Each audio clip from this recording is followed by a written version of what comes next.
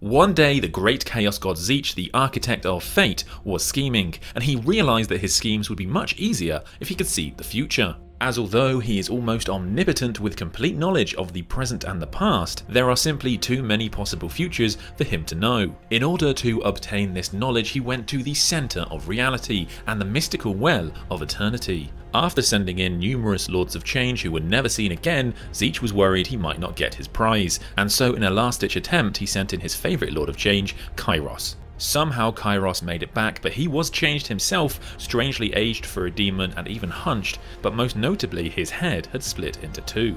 Now his right head knows the entirety of the future and the left the entirety of the past. However, this does make him blind to the present and particularly vulnerable to attacks. Kairos Fateweaver now works as Tzeentch's right hand and oracle, and his insane ramblings are written down by 9 times 9 Lords of Change.